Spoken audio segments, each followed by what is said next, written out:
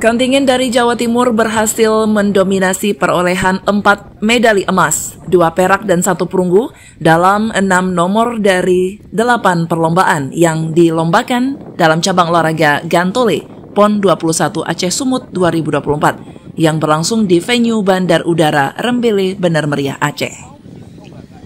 Medali emas yang berhasil diraih oleh kontingen Jawa Timur pada cabang olahraga gantole ini, yaitu kategori nomor kategori ketepatan mendarat kelas B atas nama atlet Arik Sufian Ganta.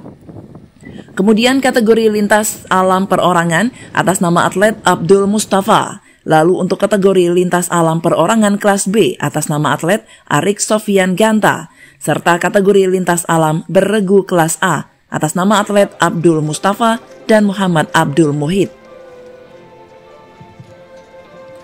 Untuk dua medali emas lainnya direbut oleh Jawa Barat untuk kelas ketepatan mendarat kelas A atas nama atlet Ayat Supriyatna dan kategori lintas alam beregu kelas B berhasil diraih oleh Jawa Tengah atas nama atlet Supardi dan Ayas Yahya.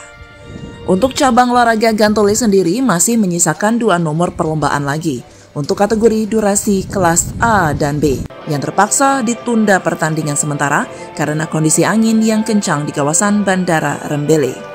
Uh, sampai hari ini hari terakhir Jawa Timur uh, memperoleh 5 emas dari 8 emas yang dilakukan kemudian dua perak dan dua perunggu.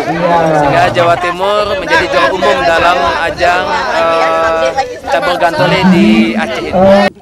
Dari Benar Meriah, Tim Liputan Aceh TV melaporkan.